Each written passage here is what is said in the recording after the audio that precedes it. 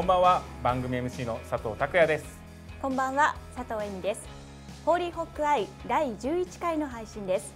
この番組は岩倉 TV がお送りするサッカー J2 ミドホーリーホックの応援番組です。本日は県庁スタジオから MC2 人でお届けしてまいります。さてまずはじめにこの度の大雨による被害に遭われた方々に心よりお見舞いを申し上げます。まあ、あの水戸市中川沿いにあるあの、はい、ホーリーホックの練習場ホーリーピッチもですねあの昨日冠水してしまいまして、まあ、あの今朝練習前に見に行かせていただいたんですが、はい、まあ、人的被害もなく、まあ、ピッチの被害もそれほど大きくなく済んだなという状況でして、うんはい、まあ、あの4年前も冠水したんですが、うん、まあ、その時はあの復旧まで半年以上かかった、ということがあったんですけど、その時と比べてだいぶ軽く済んだなと、えー、まあ最悪の状態は免れたんじゃないかなという感じでしたね。はい、はい。とはいえあのまだ使用に関して制限がかかっている状況でして、はい、まあ、あの完全に使えるようになるまではまだ少し、うん、えー、日にちが必要なんじゃないかなという状況です。まず何よりですね、まあ、常総市をはじめあの被害に遭われた地域の方々に一日も早い復旧をお祈りしたいと思います。さて今週はゲストトークとして拓也さんがスタジオを飛び出して取材をしてきていただいたということですね。はい、そうです。はい、今回はですねあの、えー、後半戦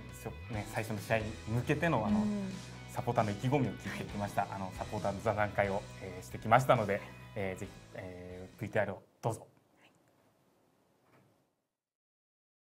ということで今回は水戸サポーター座談会を開催したいと思います。ということで皆さんこう水戸サポーターに集まっていただきました。よろしくお願いします。よろしくお願いします。であの皆さんのご紹介をしたいと思います。まずあのグランジピオネール代表の三輪和也さん、はい、よろしくお願いします、はい、そして、えー、ブルーズ代表、えー、坂部義則さん。よろしくお願いします。そしてブレイバーズ。ブレイバーズ。ブレイバーズ 代表武藤浩一さんよろしくお願いしますあのバックスタンドで活動している3団体の代表ということでよろしいですかね。そうですね。はい、ね、熱い話を聞かせていただきたいなと思います。はい、よろしくお願いします。はい。さあ、どうでしょう。結構ね、今シーズンは苦しい戦いが続いてますが、皆さんはどどうですか、この苦しさ、楽しめてるのか、それともやっぱ辛いなっていう感じなんでしょうか、どういう？気持ちで今シーズンを送ってます。か。どうですか？どうですか？どうですか？まああれですね、まあ、序盤は確かに苦しいシーズンだったかもしれない。それそもそも今年ってケーズネキスタジアムでスタートができないっていうところから始まって、はい、まあ、芝の問題とかもあってそこがあの解決してケーズネキスタジアムに戻ってきたのもあったんですけどなかなかちょっと結果が出なくて、あの途中で鉄さんの介入とかもあったりして、まあ、途中までちょっとすごくあのシーズン的にはこうサポーター的にもあれですねわあもう荒れて,、荒れてましたね。荒れてました。春の頃荒れてましたよ。ああいつぐらいが一番荒れてました？いや交代する直前じゃないですかああ確か3連戦ありましたよね確か。ゴールデンウィーク。ゴールデンウィーク。あとあと。多分金沢アウェー。アウェー金沢ホーム長崎。長崎。あの長崎戦はねサポーターとしたらちょっとやるせない会場でしたもんね、うん、でもこうなんか気持ちそこで高めるためになんかサポーターの皆さん考えたことってありました？いや一応話し合いはしたんですね。こういう長崎戦。終わった後ぐらいかな、うん、あのまあとにかくギャーギャー言ってもしょうがないし、うん、あの選手がミスするならそこで俺らは手を叩いてもっと盛り上げてやろうと、うん、そのマイナスなるマイナスイメージになるようなことだけじゃなくて、まあ、当然試合中にあのつまんないミスが出ればヤジとかブーイングが出るのは、まあ、それはしょうがないですけど、最終的に選手の応援をしようというそのポジティブな考え方でいこうよっていう話はしたんですね。しましたね。ため息より鼓舞をそうそうそれは本当に今今年すごい心がけてるサポーター。すごい皆さん辛い状況を乗り越えたからこそこそだからと思うんですけどそれがすごい浸透しててため息よりもその前に自分でため息出るなと思ったら無理にでもこう鼓舞するとかあの声出して手拍子人より声出すっていうのはすごい今それがサポーターの方皆さんすごくやってて、うん、これが少しでも後押しになればいいね、毎試合やってますけど、うん、結構あのため息って聞こえるもんなんですよね選手に。意外と。一人一人のためが結構大きな声で。シュートを打っても結局そこであーってなるよりはナイスシュートと思って鼓舞してったのはやっぱ選手もモチベーション上げてくれるだろうし、次にやっぱりスタジアム全体として空気が良くなるだろうから、っていうのはみんなできる限り意識してね、僕すごく印象的だったのはあのアビスパ戦がすごくサポーターの変化というか僕はちょっとサポーターに感動してしまったシーンがあってあの2失点目食らったカウンターから、はい。決まった直後にミトコールはいはい。でしたっけ？ミトコールミトコールしては、はい。で選手たち鼓舞した、い。あの時って大体結構もう2点ガクってなっちゃううところをなんか鼓舞したのがなんか変化感じたんですよね。でしたよね。もうあの時はも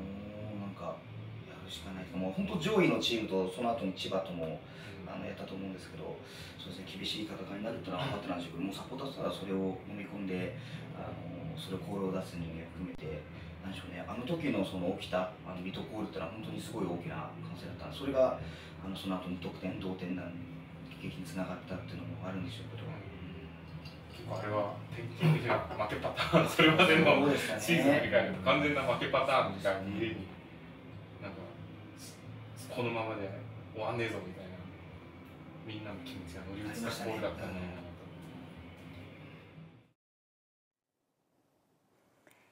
いやー本当に一緒に苦しんで、一緒に戦ってっていうはいサポーターの皆さん実際にお会いしてお話を聞いてどうでしたか、はい、まああの僕さっきも言ってたんですけど、えまあ本当今年ポジティブな声援がすごく増えたなとうん。あの記者席にいてもすごく感じるんで、うん。やっぱりそれにはちゃんとそうやってねサポーター同士の話し合いとかもあったんだなっていうのをすごく感じましたね。うん。実際でもね、はい。えみちゃんはピはいッチで聞いてるわけじゃないですか。はい。どうですか？声援っていうのは。いやすごい感じますよやっぱり、うん、ものすごくこう選手たちがこうねやっぱり今シーズンどうしても先制先行される試合も多くて、はいでもその中でもこうサポーターが盛り上がっていってくれることでスタジアム全体の空気がこう変わってってるのをすごくこう感じますねそう。ですね。まあはい選手たちも実際そうやってね、うん、言ってる選手も多いですからね。はい。間違いなく力になってますよね。うんはい。そうですね。はい。はい、ということでそれではサポーターとのトーク後編をご覧ください。どうぞ。サポーターの応援の変化もあるんじゃないかなと思うんですけど、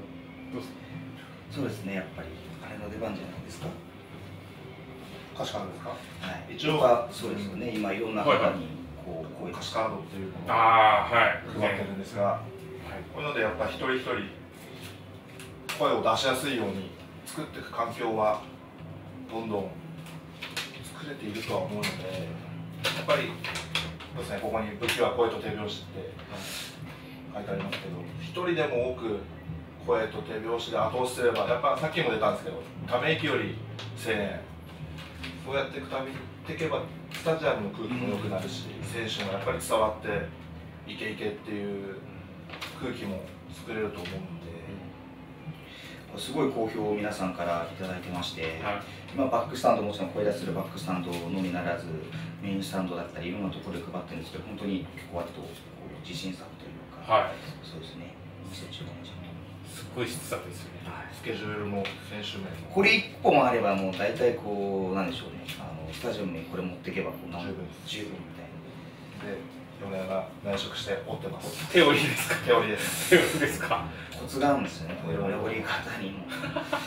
開くとサポーターですからああ。順序がある。順番が。順番があるんですこれ開いたらサポーター。はいああ、なるほど。そして何何部吸ったんですか？今年は5000部吸ってもう3000以上かけてるんでは残り1600500ぐらいしかあ。ないです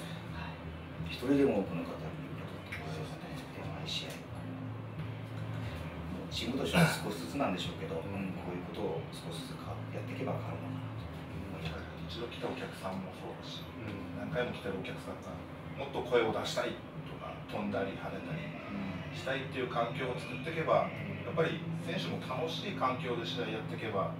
どんどん乗っていくと思うんでそれもさっきのその福岡戦の話じゃないですけど、はい、そうやってどんどんサポーターの力があったからこそって言える試合をどんどん増やしていけるのかなっていうそれの一つかなと思ってます、はい、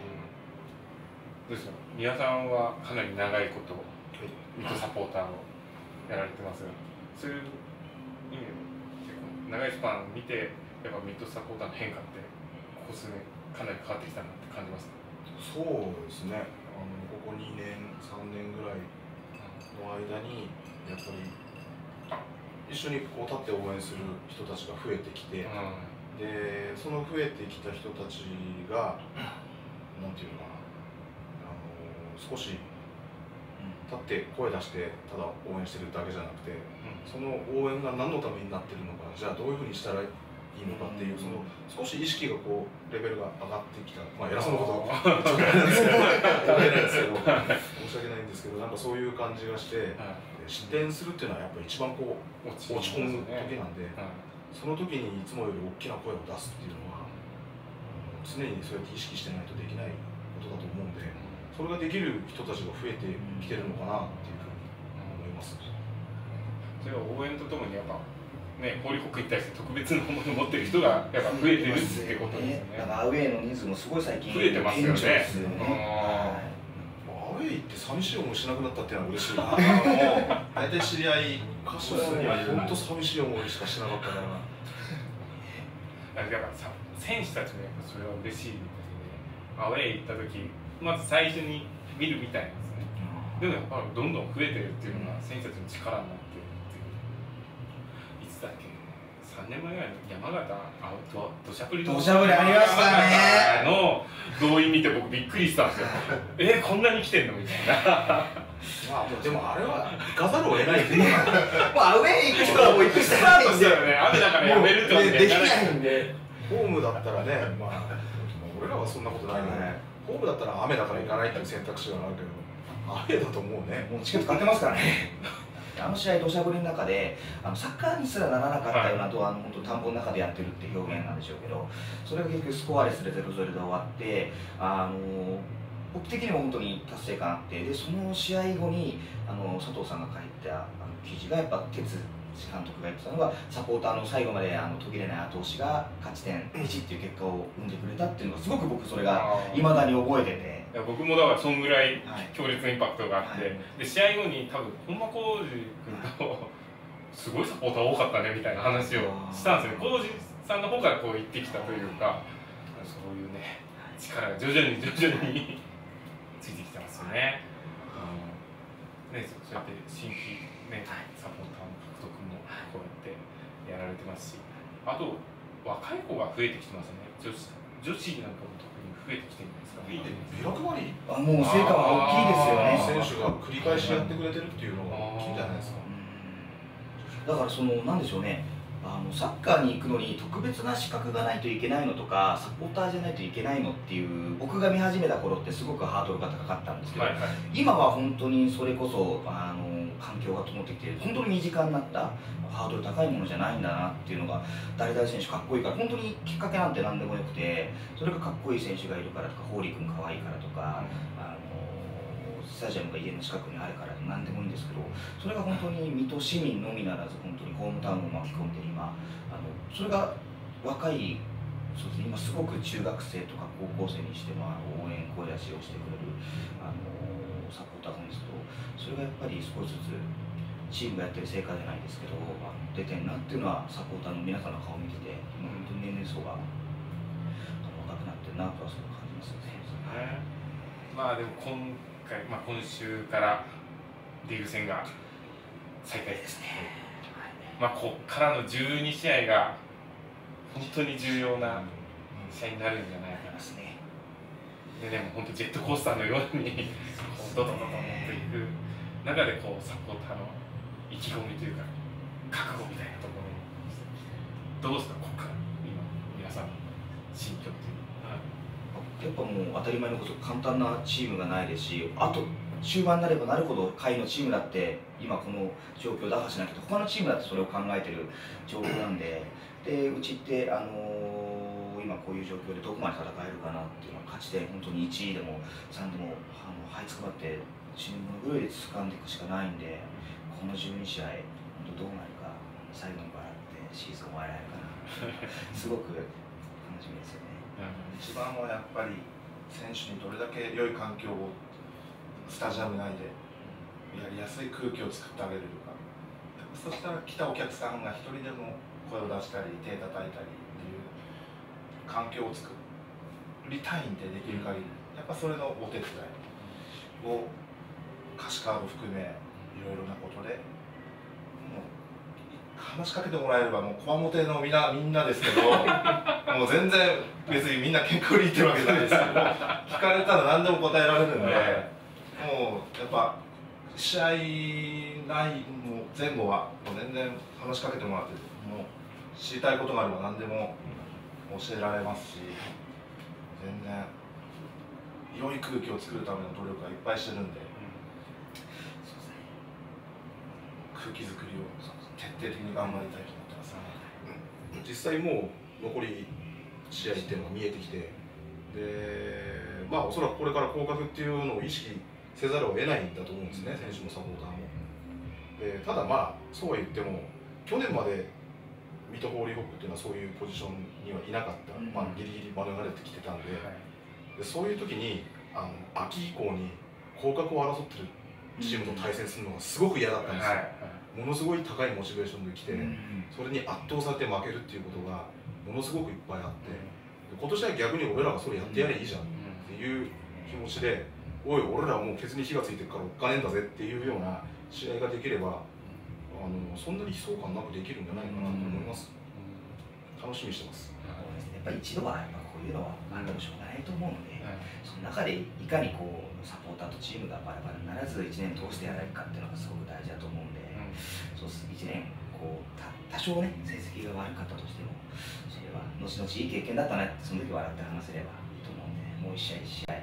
チームのサポーターを応援するしかない、やる気しかないですね。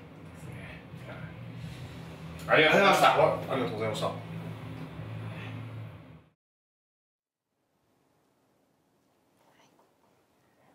あのハンドブックはい。私もあのいただいてはい財布に入れていつも持ち歩くようにしてるんですけどもあ最初手に取った時にものすごく感動したんですよね。ー、はい。うんすごい質が高いですよね。はい。もうあのね。いきなりサポーターのこの拳を上げたところから出てきうんて、ね、歌詞も書いてあって、はい、ね、あれ一つあればサポーターの、もうバックスタンド行って応援できるんでね、そうですぜひね。ねまた多くの方にうんね、応援してもらいたいですよね。はい最近本当にメインの方からもね声援が聞こえてきたりとかそ、うですね。はいバックスタンドからこう投げかけてこう一緒にこうしてこうんう本当スタジアムの一体感っていうのがね徐々に徐々に上がってきてるんでうんねこのリーグ終盤さらにはい盛り上げてもらいたいなと思いますね。はい。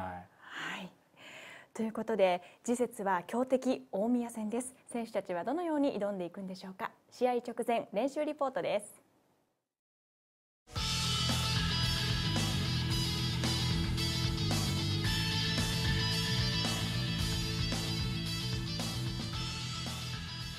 それでは麦倉夏樹選手に来ていただきましたよろしくお願いしお願ますいします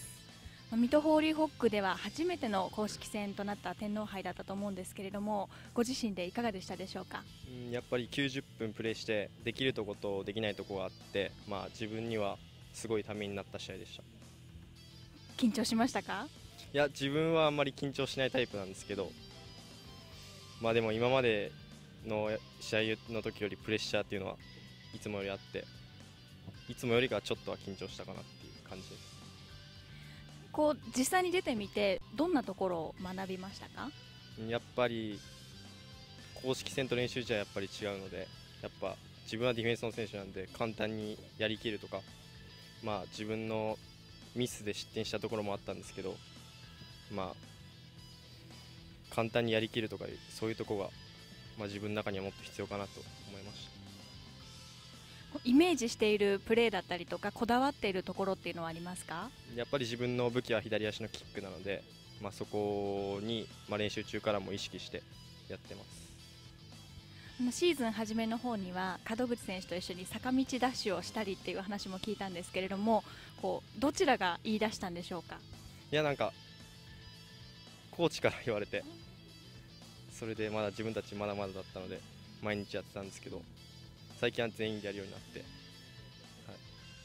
最近は全員でやってます。以前、門口選手のお話を聞いた時も麦倉選手が仲がいいというふうに聞いたんですがこうどんなお互い存在でしょうか？やっぱ練習中からやっぱ同年代2人だけなので、まあ、プライベートでも2人でゲームやったりする仲なので、まあ、いい刺激にとてもなってますチームとしてはまだまだちょっと厳しい状況が続いているんですけれども最後にサポーターの皆さんにメッセージをお願いします。えー、っとまだ自分は試合に全然出てないんですけどこれから、えー、っと試合にどんどん絡んでチームのために貢献していくので応援よろしくお願いします。ありがとうございました。麦倉選手でした。それでは続いて鈴木優斗選手に来ていただきました。よろしくお願いします天皇杯では2試合連続ゴールでしたけれどもコンディション良さそうですね。はい。いやまあでも本当に練習でしっかりやってきたんで、まあ、それが試合で出せたのが良かったですし、まあ、やっぱチームメートに、まあ、いいボールくれたんですごい感謝してます。これをやっぱりこうリーグ戦につなげていきたいところかなというふうに思うんですけれども大宮戦前期はゴールも決めましたけれどもどんな印象ですか？そうですね。あんまりそういう印象とかは他のチームに持たないんですけど、まあ、なんか点決めたのかからかちょっとよく分かんないんですけどなんかいけそうな気はすごいしてます、まあ、もちろんチームの勝利が一番なんで、まあ、そのためにやっぱり点に絡むようなプレーをしていきたいです。ゴールにこだわるというよりもチームの勝利のためにという感じでしょうか。そうですね。ゴールこだわってますけど、もちろん、まあ、結果残したいという気持ちもあるんでそれは別に点だけじゃなくてアシストでも守備でも貢献できればいいなと思ってます。まあ、もう本当に後半戦に入っているわけなんですけれども、優斗選手にとってこう今シーズンっていうのはどんなシーズンでしたか？そうですね、やっぱ最初からチームの調子がもう良くなかったんで、まあ、僕個人としても結構怪我とか、あのー、風邪ひいたりとか、結構、まあ、不甲斐ない形で今、ここまでずるずる来ちゃってると思ってるんで、まあ、僕まだリーグ戦1点しか取ってないんで、まあ、ここからチームとしても個人としてもどんどん上がっていけるように頑張っていきたいですそれではサポーターの皆さんに最後にメッセージをお願いします。えーまあ、この間の天皇杯で2連勝して、まあ、今、チームの調子もすごいいい感じなので、まあ、だからといってやることは特に変わらないですけど、まあ、本当にしっかり体張ってもう本当にファイトしてしっかりそういう姿をやっぱ見せるべきだと思いますし、えやっぱ90分間終わった後にしっかりみんなで喜びたいと思うのでぜひ、えー、力を貸してください。お願いします。ありがとうございました。鈴木優斗選手でした。ありがとうございました。はい、ということでちょっと鈴木優斗選手のひげが個人的には気になっちゃったんですけれども。でもまああのねリーグ戦1点って言ってましたけど1点は前回の大宮戦ですからね、はい、そうですよね、はい、2点目をまた大宮戦で決めてもらいたいですよね、はい、はい、ぜひ期待したいと思いますけれども、ね、はい。ということで拓也さん改めて大宮アルディージャどんなチームでしょうか？はい。まあ一言で言うと強いです。まああの現在21勝5分け4敗。で勝ち点68と、まあ、水戸の勝ち点が31ですから倍以上取っているとい。うことでやっぱりそんだけのね、えー、チームだということを、ね、考えてリスペクトしながら臨まなきゃいけないですが、まああの今回家永選手元日本代表の家永選手が、えー、出場停止ということでいないのでそれはまあ水戸にとって、えー、大きいことなんじゃないかなと思ってます。ただまあね個人能力家永選手いなくても個の能力がすごく高いチームなんで、前線にはあの11得点取ってるムルジャ選手がいたり、まあ、特に左アウトサイドの泉沢選手のドリブルもすごく注意しなきゃいけないしカルリーニョス選手のゲーム作りもね、抑えなきゃいけないと、やることはいっぱいあるなという感じがしますけれどもやっぱ前回もね、えー、終盤までリードしたように勝てない相手でもないと思うので、特にやっぱりカウンターに対してちょっと弱さを見せるチームなので、まあ、水戸の武器である、えー、カウンターを発動させて、うん、えー、ゴールを、ね、こじ開けてもらいたいなと。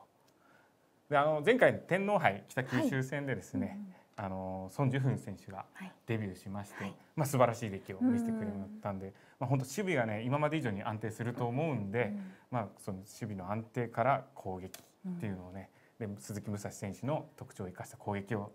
やってもらいたいなと思います。そうですね。はい。はい、それでまあ次の試合に向けてのポイントです。まず1点目がですね。地域のために、うん、まあ、あの冒頭で言いました通り、はい、まあね、えー、今回、えー、大雨の被害に遭われた地域がね、茨城県内かなり多かったので、まあ、そういう方々のためにもやっぱちょっとでもね勇気づける戦いをしなきゃいけないですし、さらにあの、まあ、ホーリーピッチが完成したとはいえ、やはりこうやってサッカーできる喜びをですね、うん、改めて感じて選手たちにはプレーしてもらいたいなと思います。はいうん、でまあ、えー、今日の、えー、練習前のミーティングで西ヶ谷監督からもですね、はい、選手たちにそのように、えー、伝えられたということですし、うん、やはりクラブとしても、えー、チームとしても、それでね、被災に遭った地域の方々に対して何かできることないかということを、ね、模索しているみたいなので、はい、まあ、そういう思いっていうのをプレーに込めて戦ってもらいたいなと思っております。そうですね、はいそしてもう一点がですね。はい。何クソ魂。えっと。まあ、大宮の練習場行ったことありますか？いえ、ないですか？はい。いや、素晴らしい練習場なんですよ。クラブハウスもドーンとあって。こう理想だなと。J2 で多分一番いい環境でやってるんじゃないかなと思うんですね。ただやっぱりね水戸もはちょっと苦しい環境ですし、まあね、こうやってホリピッチが完成して今ジプシー生活みたいな練習場転々としてる生活で、まあ、今日もですねちょっと雨の影響で、グラウンド全面を使えなくて紅白戦ができなかったんですよね。はい、そうですね。はい。で、まあプラン通り、えー、計画が進んでませんが、やはりね、その与えられた条件で、えー、力を出し切るというのはプロですし、うんもう逆にその何クソ魂、そうやってねこの環境の部分をこう力に変えて、はい、ね勝利をもぎ取ってもらいたいなと思います。うん、何クソ魂、ね、根性を見せてもらいたいなと 思いますよ。すね、はい、やってくれると僕は思ってます。はい、はい、期待しましょう。はい、以上です。ホーリーホックアウそれでは今週の水戸ホーリーホックのホームゲームのお知らせをいたします。大宮アルディージャとの対戦はケーズ電気スタジアム水戸にて9月13日日曜日18時にキックオフです。当日は日立市招待例といたしまして日立市に在住在学の皆様を無料でご招待いたします。またスタジアムでは J リーグマネージャーの佐藤美希さんがご来場されるなどさまざまな企画も用意されています。こちらも合わせてお楽しみください。また本日インタビューをした2人の選手のサイン色紙を2名の方にプレゼントいたします。本日のキーワードは何クソ魂です。そうですね。はいそうですね、はい、応募の詳細はいわきら TV ホームページまでお願いします、はい。ね、日曜日ね、い。い試合を見せてもらいたいですね、うん、まあ結構大宮のサポーターも多く来るんじゃないかなと言われているので、それ以上のね熱いね水戸サポーターいっぱい来てもらいたいですね。すねさらに、そう青く染めてもらって選手たちにパワーを送ってもらい、ぜひ首位撃破をそしてね後半戦に弾みをつけてもらいたいと思います。はい、えー、それでは皆さん大宮アルディージャ戦スタジアムでお会いしましょう。ありがとうございました。さようなら。